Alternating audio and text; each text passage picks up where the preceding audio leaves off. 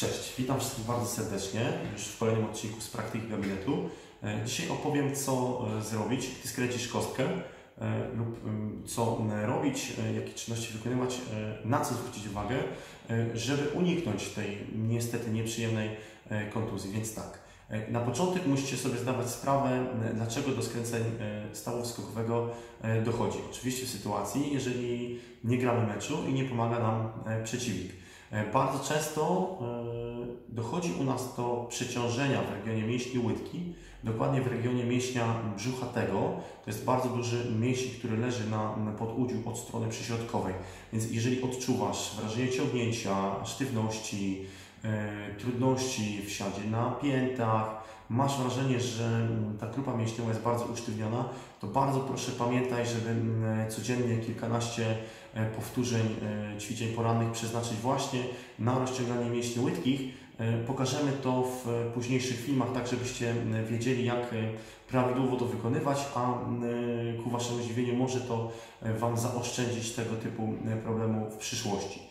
E, Jeżeli mówimy o skręceniu, to najczęściej do skręcenia dochodzi w wyniku mm, zwrotu mm, stawu skokowego e, piętą i kostką boczną na zewnątrz. To jest najbardziej popularny typ skręcenia e, ze względu na to, że po bocznej stronie stawu skokowego stabilizatory, aparat e, mięśniowo-powięziowo-więzadłowy jest słabszy, aniżeli od strony przyśrodkowej, gdzie e, o naszą stabilizację dba bardzo duże i silne więzadło e, trójgraniaste. Także te uszkodzenia są rzadsze w kierunku środkowym, dośrodkowym w zasadzie, ale jeżeli już tego doświadczymy, to generalnie mm, ta kontuzja leczy się e, nieco trudniej, aniżeli skręcenie to bardziej popularne, e, gdzie ucieka nam staw skokowy e, na zewnątrz. I teraz e, musimy podzielić sobie leczenie e, urazu kostki na dwie grupy.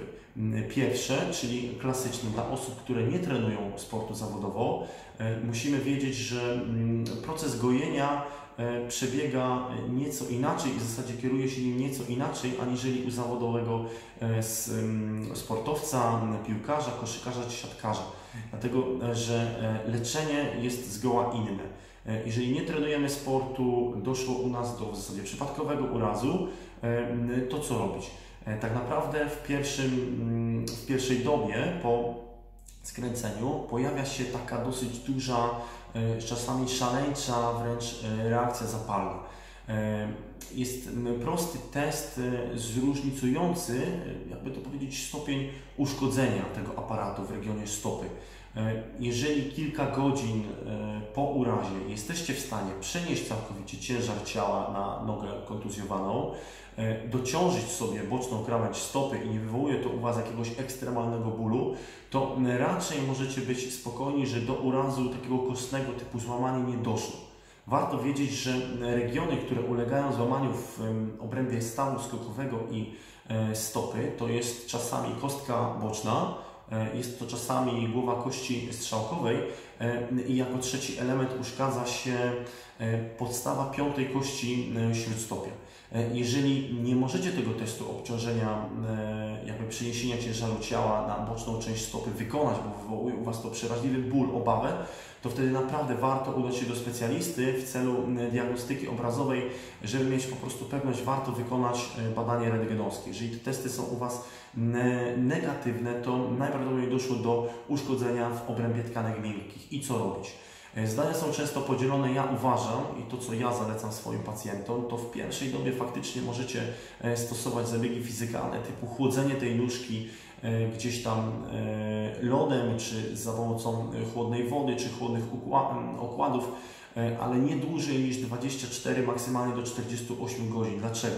Dlatego, że dłuższe stosowanie zabiegów przeciwzapalnych, jak na przykład leki przeciwzapalne, chłód, zimno, e, jakieś zabiegi fizykalne e, zaburzają aktywność takich komórek, które nazywają się fibroblastami. E, Jaka jest ich funkcja? Fibroblasty mm, wspomagają nową syntezę kolagenu, czyli włókienek, które będą budować e, Waszą uszkodzoną strukturę. Więc logiczne jest, że jeżeli wprowadzicie bardzo e, szerokie działanie przeciwzapalne, to owszem, częściowo zniesiecie dolegliwości bólowe, ale ta struktura uważam, że nigdy w pełni prawidłowo, e, fizjologicznie się nie zregeneruje. To znaczy, że ta okolica będzie narażona na ponowny uraz. Podobnym jest usztywnianie stawu skokowego. Nie widzę potrzeby, e, żeby uszkodzony staw, którym jest obrzęknięty, usztywniać dodatkowo bandażem czy jakimś stabilizatorem. E, chyba, że są to naprawdę jakieś wyjątkowe e, sytuacje, ale w większości tego nie zaleca, dlatego że już w tym stawie toczy się reakcja zapalna. Jest tak naprawdę pogorszone krążenie, jest zastój płynów. I teraz wyobraźcie sobie, że pakujecie taką kończynę w usztywnienie co tam się dzieje, tak naprawdę nie jesteśmy tego do końca świadomi, ale możemy być świadomi jednego, że będzie bardzo trudno wrócić do formy, jeżeli świeżą kończynę po skręceniu e, usztywnia się e, w jakąś łuską ortezą czy gipsem na okres dwóch, czy trzech, czy nawet czterech e, tygodni, a bardzo często tak się dzieje. Także ku zdziwieniu pacjentów po ściągnięciu tego opatrunku no jest problem z normalnym, że tak powiem, funkcjonowaniem, a co tutaj mówić o jakimś bieganiu czy innych bardziej złożonych czynnościach. Zalecam stosowanie nawet kul w drugiej, w trzeciej dobie, ale nauki poprawnego chodzenia w odciążeniu. To znaczy zaczynacie chodzić, ustawiać nóżkę od pięty, przez śródstopie, przez palce, czyli ten nawyk prawidłowego chodu musi być zachowany. To zdecydowanie szybciej przywróci Was do funkcji, Mm, i będzie działało leczniczo, aniżeli pełne unieruchomienie.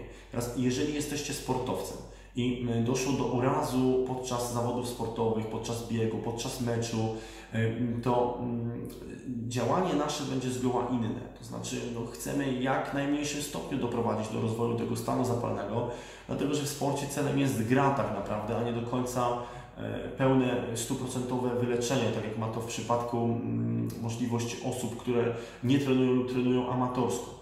Proszę Was pamiętajcie, jeżeli macie pod e, sobą, czy gdzieś tam w pobliżu e, kolegów z zespołu, czy partnerów do treningu, czy trenera, czy masażystę, fizjoterapeutę, kogokolwiek, to mm, polecam taki trik. Po skręceniu od razu należy kończynę mm, w stawie skokowym usztywnić bandażem elastycznym tak naprawdę na 100% oporu. Następnie na kilka minut, czy e,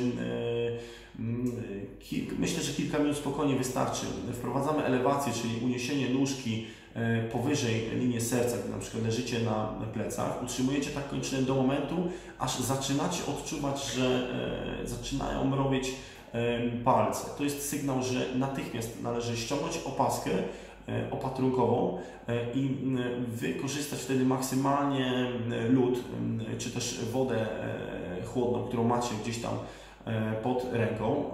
Tą kończynę chłodzimy, wsadzamy do wiadra z lodem czasami, znowu na kilka chwil, kilkanaście sekund, kilka minut. Gdy zaczynacie odczuwać mrowienie czy jakieś takie dziwne zamożenie czucia, wyjmujemy tą kończynę i ponownie powtarzamy ten cykl z bandażowaniem, z uniesieniem kończyny i schłodzeniem.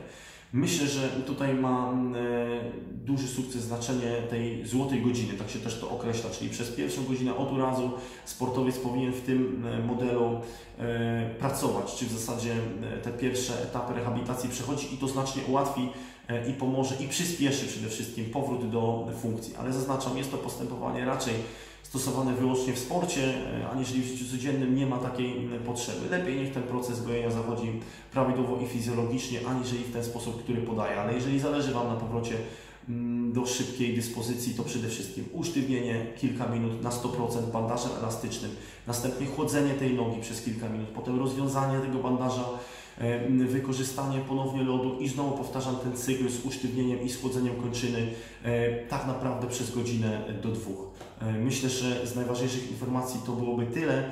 Jeżeli macie jakieś pytania, zapraszam do zadawania ich w komentarzach poniżej, a także jeżeli interesuje Was to, co prezentuję, zapraszam do subskrypcji mojego kanału. Pozdrawiam wszystkich, życzę dobrego tygodnia, Piotr Ibercha.